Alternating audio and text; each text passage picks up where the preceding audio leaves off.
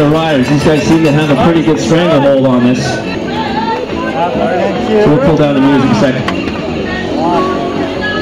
We'll get uh, Lou to do that.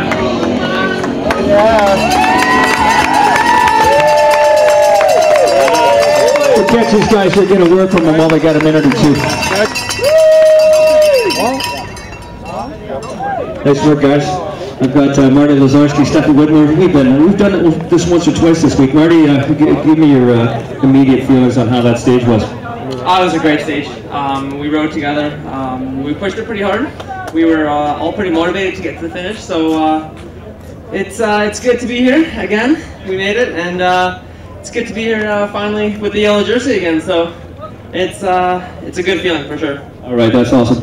Uh, Stefan, we uh, we did some course alterations uh, coming in for this year's stage number seven. We pulled a couple hundred meters of climbing out. We shortened it, shortened the distance by a couple of kilometers. Ride time uh, more or less the same as last year.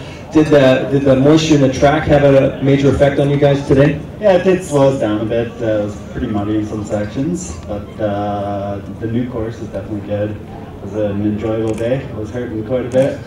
Had a little help from my partner here, so yeah, it was a great day. All right, that's fantastic. I'm, I'm looking back down the street. What did you do to the rest of the group? Uh, after the last speed zone, we uh, put the gauntlet down a bit and uh, tried to come in solo. So uh, yeah, Portuguese should be coming soon, and uh, the Czechs were with us as well, coming up to the top of the hill. So. Yeah, but these guys are from Canada.